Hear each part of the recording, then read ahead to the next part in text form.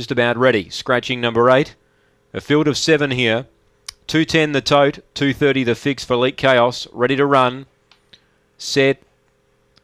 Ready now away. Elite Chaos got away on terms with them. She'll lead here. Pushing up I'm a Zoolander. Railing hard. Thumber Ride went to second and chases a leader down quickly now. Well, going to third I'm Zoolander. Then came Astro Drive. A gap to Velocity Lily. Then Ready Successor. Last is Cindy Tyson. But getting clear. Thumber Ride. Oh, the run presented at the right time. It dashed clear. Running on I'm Zoolander. But Thumber Ride defeats I'm Zoolander. Elite Chaos back in third. Astro Drive fourth from Velocity Lily. Ready Successor and Cindy Tyson last last in 22.76 the gallop.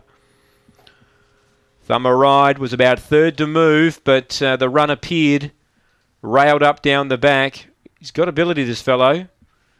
And when he gets it all right, he's pretty good. 22.76 the run. Troy Murray, the winning trainer.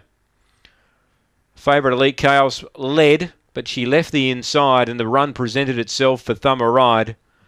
And Thumber Ride's come away to win comfortably. Five second, uh, should be uh, should be four second, I'm sure here. So just stand by for this. In the frame now, it's correct. Three, four, two, and six. Three, four, two. Uh, we'll just stand by for these numbers now. We're getting them right. Had me thinking. Three, four, six, and five. They are three, four, six, and five. That is the way they are. Twenty-two, seventy-six. Three, four, six, and five three, four, six, and five. Uh, but that's